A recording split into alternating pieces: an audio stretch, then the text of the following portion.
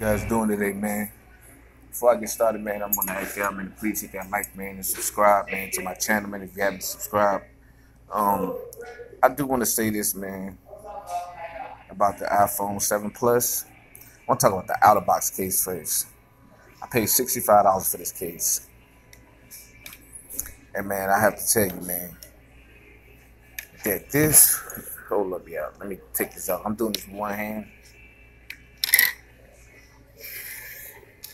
This case, oh my goodness, is so well protected. It has, you know what I'm saying, your power button right here. You know what I'm saying? Nothing at that top. Then it has that for your um this you know the silence or whatever. Then your volume up and down right there.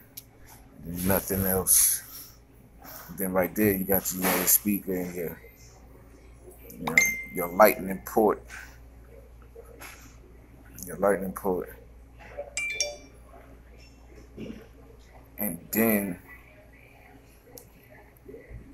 you had a piece of plastic that was over the face, but I took it off because I got a glass screen protector on there.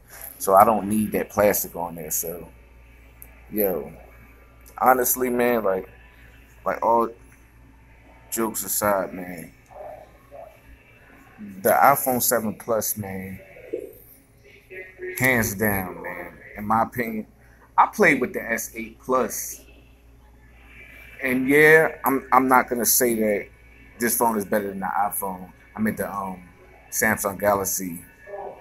What is it, the S8 Plus? It's not better than that phone.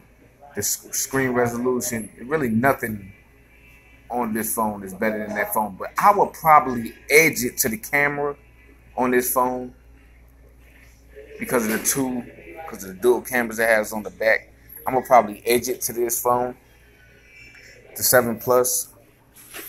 But the camera on the um, Samsung Galaxy S8 Plus is actually good as well. But I'm gonna just right now I'm gonna just edge it. You know what I'm saying? But this phone right here, man, is definitely top two on the market today, in my opinion. I mean, I haven't messed like with all of them, you know, all of the tiny phone. I mean, I, had, I got the Axon 7, but and that's a great phone, great phone. I'm gonna do a comparison between this and the Axon 87. I mean, the Axon 7 as well. The 7 Plus and the Axon 7. I'm gonna do a um, comparison video against those those two devices. I don't have the um, Axon 7 with me right now, but man, this phone is man. I'm in, I, I love this phone, man. It do have the the A10 Fusion chip in this phone, which makes it, you know what I mean, a lot faster than the other iPhones, you know what I'm saying, that they have out, like the 6S Plus 6 and the blah, blah, blah, on down. You see what I'm saying? And it also has a two 12 megapixel cameras on the back and it has a 7 megapixel camera on the front. You know what I'm saying? And man, the cameras on this phone is is is, is so beautiful, man. The graphics, that that eight that A10 Fusion chip, man, got these graphics, man. It does has an octa-core processor. I think it's clocked in at 2.2 gigahertz, 2.3 gigahertz, something like that. Octa-core processor. I'm not for sure, but this is the 32 gigabyte variant. 32 gigabyte. And yeah, it may not be enough for some people that that that's iPhone heads. I'm not really an iPhone head, and I really don't care about the camera and all of that and shooting in 4K and all of that. I don't really care about that. So for 32 gigabytes for me, for a person like me that just like to play games and do little stuff like that, and you know what I'm saying, and browse the web and stuff like that, 32 gigabytes is perfect for somebody like me. Like, cause I don't care about all of that other stuff. I just and, and it does has a 1080p resolution on this device. It's a 1080p. It definitely, you know what I'm saying, has a 1080p resolution on this device. And there's a 1920 by 1080. And the screen looked beautiful to me. I hear a lot of people complain, oh, it's not a 2K. It's not a, a, a, a, a what is it, a quad HD. I don't care about that. For the price, yeah, it should have been, but I don't care about that. Because for a 1080p screen, no, I'm, if you're looking for a phone and this for all you guys that's that's willing to spend big money on phones. Like I said, I don't do reviews on high paid, on high cost phones. But for you guys that's willing to spend the money on phones like this, man, it's worth it. Man, I'm talking about, man, there's no lag whatsoever on this phone. There's no lag, like, whatsoever. Like, this phone is snappy. Man, the fingerprint sensor works a hundred percent. Like real talk, it works very great, very well.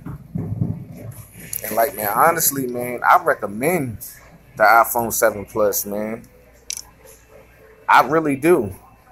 I'm actually using this as my daily driver right now, actually. And man, I love it.